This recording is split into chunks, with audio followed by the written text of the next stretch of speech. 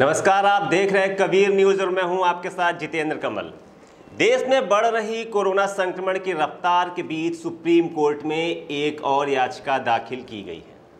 इस याचिका में कोरोना संकट से निपटने के लिए केंद्र सरकार की नीतियों पर सवाल उठाए गए हैं और दायर याचिका यह दावा करती है कि कोविड टीकाकरण में भी भ्रष्टाचार है।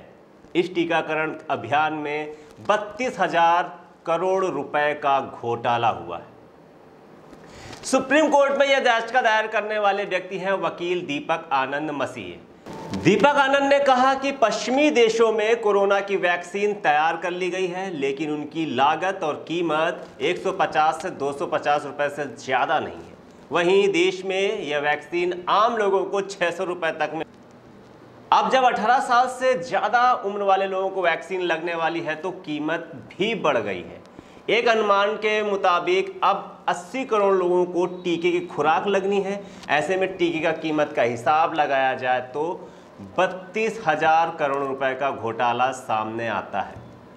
याचिकाकर्ता ने कहा कि प्रधानमंत्री मोदी ने नेशनल साइंटिफिक फोर्स तो बना ली, लेकिन फरवरी या मार्च में उसकी एक भी बैठक नहीं हुई। ऐसा इसलिए क्योंकि कुछ राज्यों में विधानसभा चुनाव जारी थे।